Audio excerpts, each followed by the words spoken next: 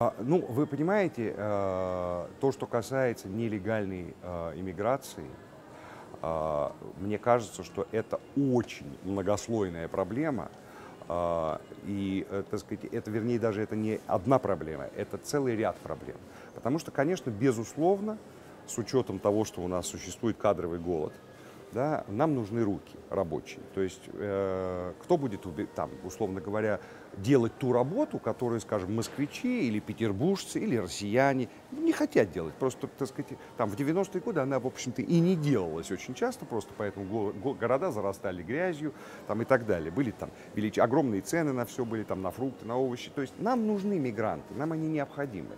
Вот. Но для того, чтобы они нам э, создавали, э, так сказать, наименьшее количество проблем, мы должны относиться к ним с наибольшим, так сказать, с большим уважением, с большим, так сказать, с больш, большим гуманизмом и не считать их, так сказать, второсортными людьми, там, рабочей силы, почти рабской силы, даже не рабочей, а почти рабской, потому что многие из этих людей абсолютно никак не защищены. И, естественно, если он просидел здесь несколько месяцев, ему потом где-то на стройке не заплатили, и там вернули, не вернули паспорт, еще вопрос, и там и так далее. Естественно, он вполне готовый, потенциальный человек, который пойдет и совершит преступление на улице. Это, это вызовет, в свою очередь, огромное там, отторжение в обществе.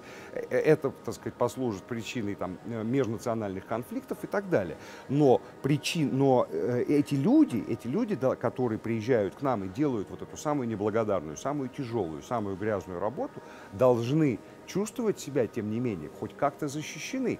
То есть это вопрос не только того, что вот понаехали тут и ну совершать преступление. Это еще вопрос нашего отношения к этим людям, потому что эти люди не защищены ни социально, ни медицински, ни полицейски, ни, никоим образом. И, естественно, все последствия, которые э, случаются негативные последствия случаются там в результате неких конфликтов, драк, там, я не знаю, вот последний раз э, как бы громкое, когда избили оперативника на, на, на рынке в Очаково, да, по-моему, где-то. Вот.